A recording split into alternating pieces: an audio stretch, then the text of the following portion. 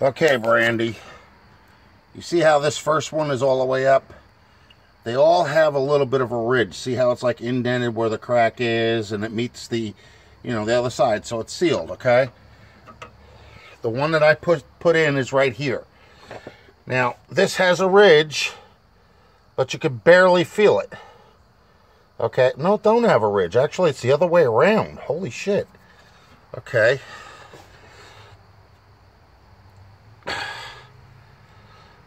No, okay. I was wrong. They don't have a ridge.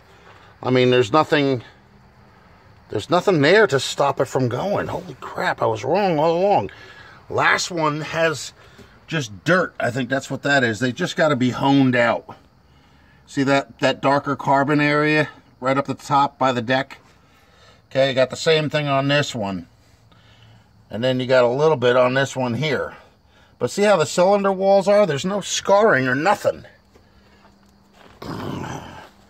This is what I was talking about when I took the old piston out. Let me see.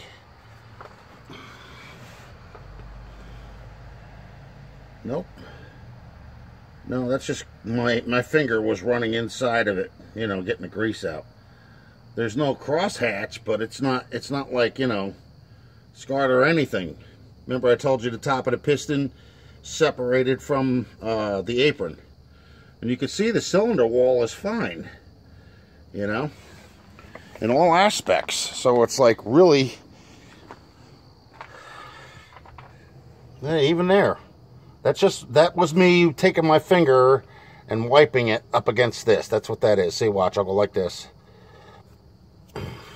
See how it's clearing up?